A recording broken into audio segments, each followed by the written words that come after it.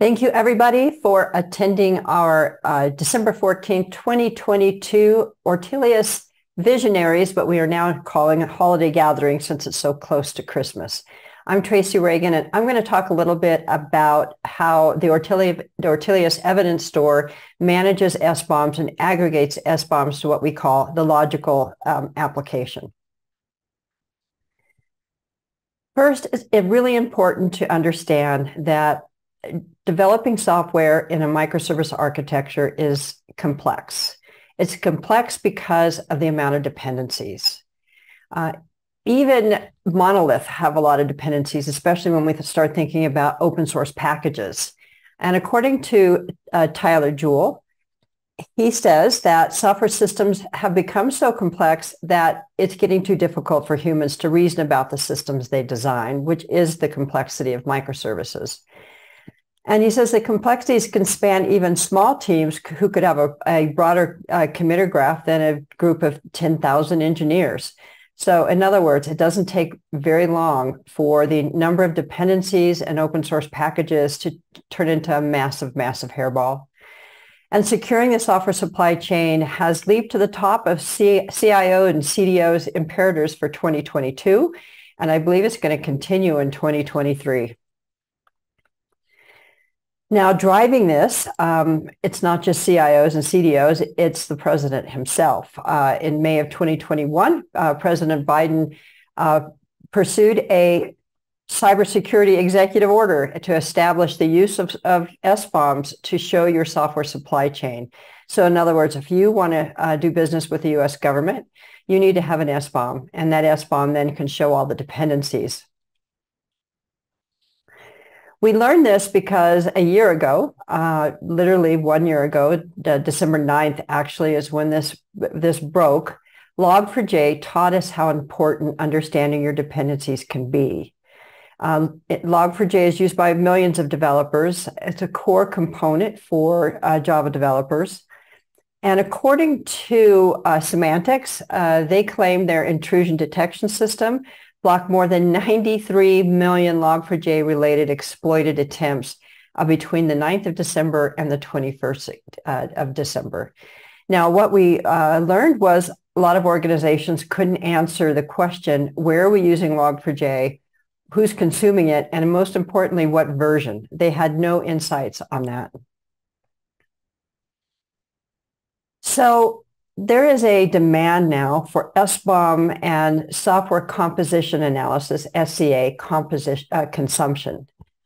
We have SBOMs, but oftentimes if you generate them along your pipeline, what we considered is a checkbox. We are doing an SBOM. We created an SBOM. So what, if it's sitting there in a text file in your, in your pipeline directory where you ran your build, does it help us? Probably not. Uh, and the most pressing issue, according to the Software Bill of Materials and Cybersecurity Readiness Report uh, uh done by the Linux Foundation, one of the most pressing issues was um, 62% of the overall sample indicated that the need for a consistency on best practices to integrate the production and consumption of SBOMs into our software development practice. And in my world, that means the, de- the DevOps pipeline. So we are building a central evidence store of software composition intelligence. Um, is a data store, and we can pretty much store any data about the objects that we manage and, and, and version, and those focus on microservices. So what Ortelius is doing in terms of collecting this data, it's pulling information from tools like CycloneDX or OSV or Helm or Argo Quay, and GitHub, and it's pulling that information in to create federated insights and logical application compositions. So we have the high-level microservice composition, uh, and we know that for each microservice, but in a cloud-native microservice architecture, how do you indicate that at the app- application level when the application level is a bit obfuscated? So Ortelius is pulling this information, creating these federated insights uh, including microservice versions, which then can provide logical application versions. If we know the, uh, the applications who are using the microservice, we could obviously create a blast radius for a microservice so we know who it impacts. We can also show the difference between two application release candidates based on a change at the microservice level. We can track the inventory, create logical application SBOMs because we can aggregate that information up, as well as logical application vulnerabilities.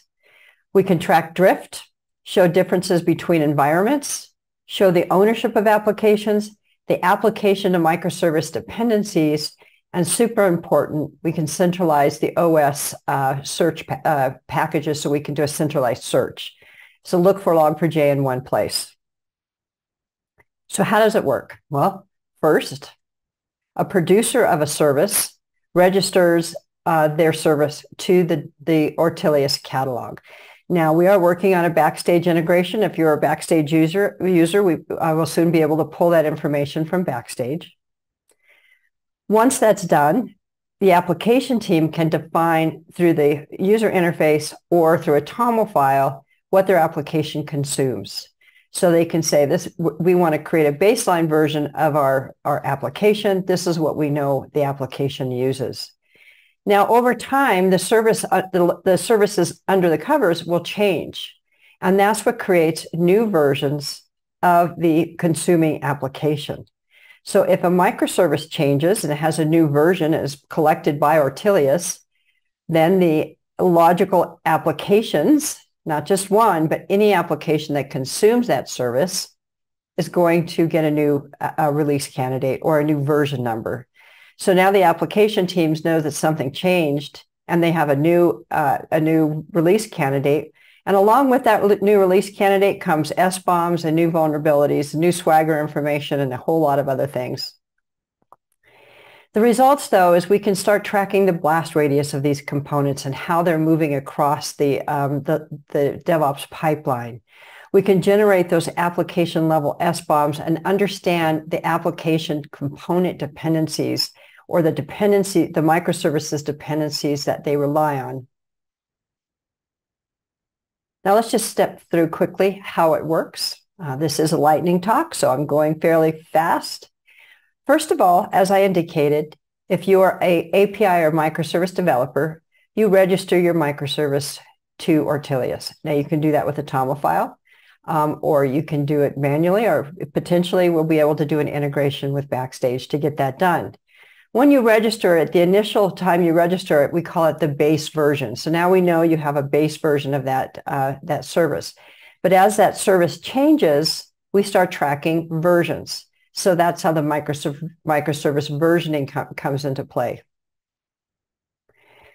Now, if you're an application team, you also create a base version and you create a base version of the, the microservices that you consume. Again, you can do this manually or you can do it through a TOML file um, and added to your CI/CD pipeline. Now, once we begin tracking these changes, then we, we have both microservice versions and application versions. Each time a microservice changes, a component's updated, a new application is created. So now we begin a cadence.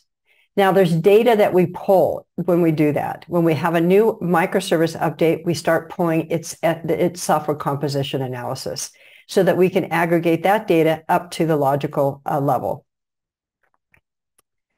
So for each service, we're going to pull in the README information, the CVEs, the, the license consumption, the SBOM data, uh, basically, and even your Swagger information if you, if you choose to, to uh, provide that to us.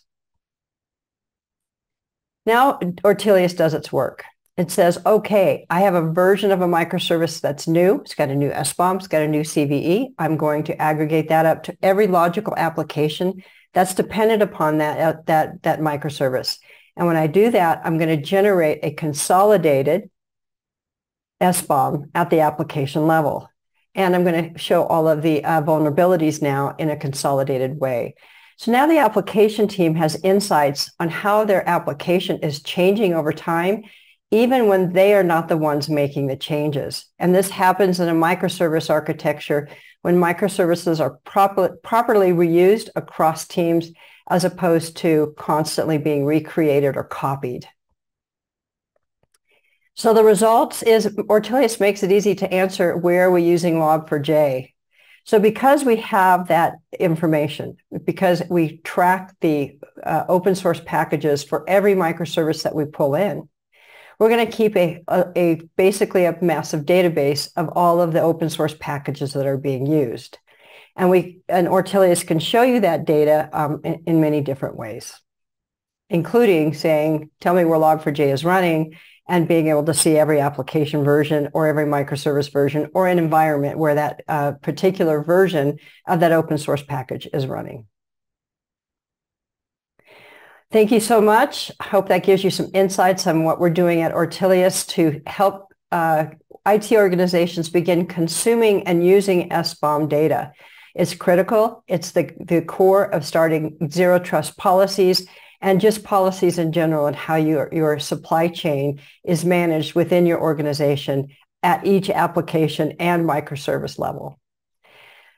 If you're interested in helping out, we'd love to have you. Visit us at ortelius.io. You can follow us on uh, Twitter or you can follow me. I am at uh, Tracy Regan. You can find me on LinkedIn at Tracy-Regan-OMS. And if this is something you want to chat about, I am always happy to talk.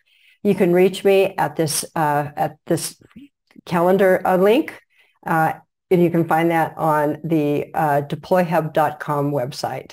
Thank you so much, and I hope everybody has a fabulous holiday.